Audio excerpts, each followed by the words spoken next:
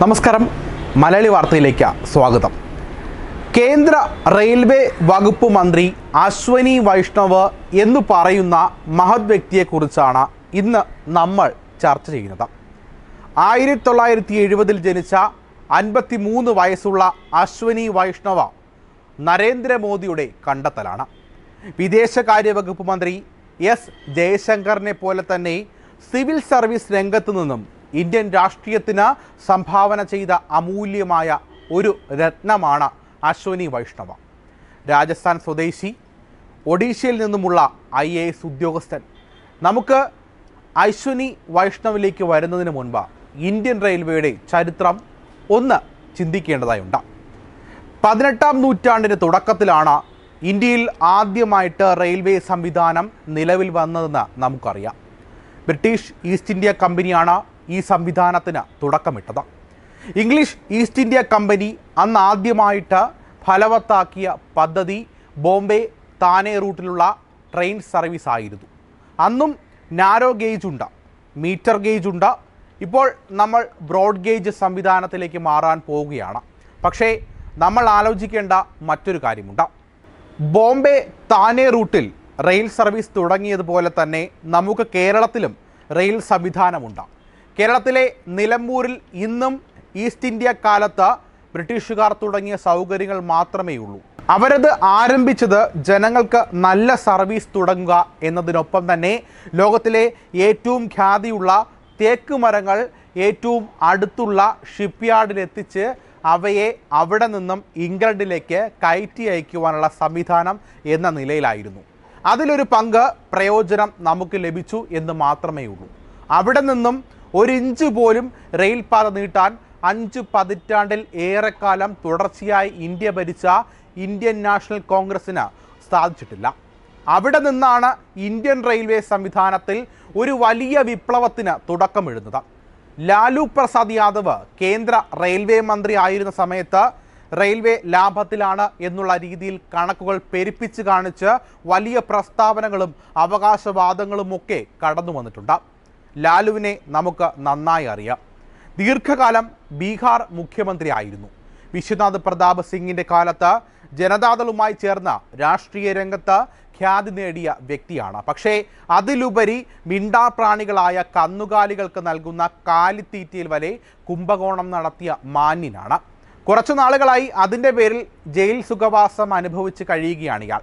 അതൊന്നും നമ്മുടെ വിഷയമല്ല. ആയിരത്തി എണ്ണൂറ്റി അറുപത്തി ഒന്നിൽ കേരളത്തിൽ ബേപ്പൂർ തിരൂർ റെയിൽപാത വരുന്നു. ആയിരത്തി എണ്ണൂറ്റി എൺപത്തി എട്ടിൽ കോഴിക്കോട് സ്റ്റേഷൻ വരുന്നു. ബേപ്പൂർ തിരൂർ റെയിൽപാത പിന്നീട് കുറ്റിപ്പുറത്തേക്കും പിന്നീട് പട്ടാമ്പിയിലേക്കും ഘട്ടം ഘട്ടമായി നീട്ടുന്നു. ശേഷം ഷൊർണൂർ എറണാകുളം നാരോ ഗേജ് പാത വരുന്നു. അങ്ങനെ കേരളത്തിലാകമാനം ഒരുപക്ഷെ ഇടുക്കി വയനാട് ജില്ലകൾ ഒഴികെയുള്ള എല്ലാ ജില്ലകളിലേക്കും റെയിൽ ഗതാഗതം സ്ഥാപിക്കപ്പെടുന്നു. അതിൽ കോൺഗ്രസിന്റെ സംഭാവന ഒന്നും തന്നെയില്ല. ഇതെല്ലാം ഇംഗ്ലീഷ് ഈസ്റ്റ് ഇന്ത്യ കമ്പനിയുടെ കാലത്ത് തന്നെ ആരംഭിച്ചതാണ്. ഒരു കാലത്ത് റെയിൽപാതകൾ നാട്ടുകാർക്ക് പ്രാഥമിക കാര്യങ്ങൾ നടപ്പാക്കാനുള്ള പൊതു ശൗചാലയങ്ങളായിരുന്നു. മനുഷ്യ വിസർജനത്തിന്റെ നാറ്റം കൊണ്ട് യാത്ര ചെയ്യാൻ ബുദ്ധിമുട്ടിയ ആ കാലത്ത് നിന്നും സ്വച്ഛ ഭാരത് പദ്ധതിയിലൂടെ നരേന്ദ്രമോദി ഇന്ത്യയുടെ മുഖച്ഛായ തന്നെ മാറ്റി.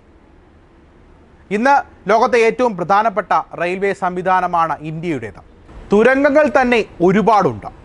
ലോകത്ത് തന്നെ വിപ്ലവമായി മാറാനുള്ള സംവിധാനങ്ങളാണ് റെയിൽവേ രംഗത്ത് ഇന്ത്യ കൈവരിച്ചിട്ടുള്ളത്. ഏകദേശം എഴുപതിനായിരം കിലോമീറ്റർ റെയിൽപാത ഇന്ത്യക്കുണ്ട്. ഒരു വർഷം അയ്യായിരം കോടി യാത്രക്കാരുമുണ്ട്.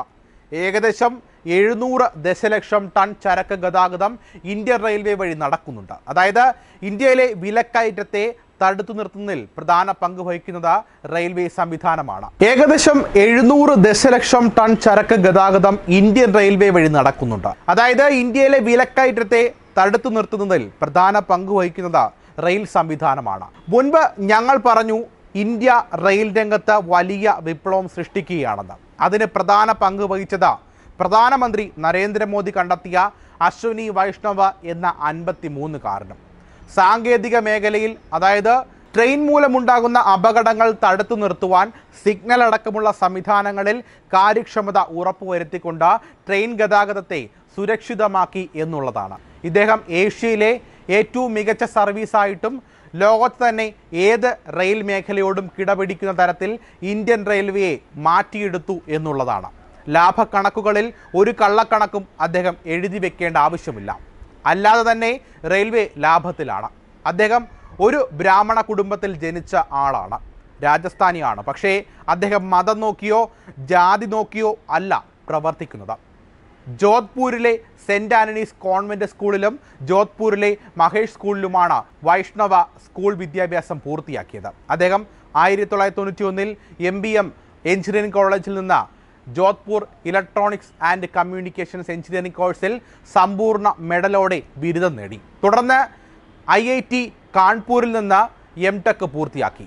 ആയിരത്തി തൊള്ളായിരത്തി തൊണ്ണൂറ്റി നാലിൽ ഇരുപത്തിയേഴാം റാങ്കോടെ ഇന്ത്യൻ അഡ്മിനിസ്ട്രേറ്റീവ് സർവീസിൽ ചേർന്നു.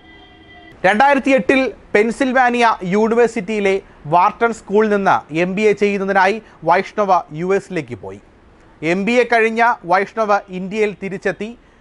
ജി ട്രാൻസ്പോർട്ടേഷൻ മാനേജ്മെന്റ് ഡയറക്ടറായി ചേർന്നു. തുടർന്ന് അദ്ദേഹം സീമെൻസിൽ ചേർന്ന വൈസ് പ്രസിഡന്റായി രണ്ടായിരത്തി പന്ത്രണ്ടിൽ അദ്ദേഹം കോർപ്പറേറ്റ് മേഖല ഉപേക്ഷിച്ച് ഗുജറാത്തിലെ ഓട്ടോമോട്ടീവ് ഘടകങ്ങളുടെ നിർമ്മാണ യൂണിറ്റുകളായ three T auto logistics private ലിമിറ്റഡിനും V G auto components private ലിമിറ്റഡിലും ചേർന്നു. രണ്ടായിരത്തി പന്ത്രണ്ടിൽ അദ്ദേഹത്തെ ഇന്ത്യയുടെ റെയിൽവേ വകുപ്പ് മന്ത്രിയായി നിശ്ചയിക്കുന്നു.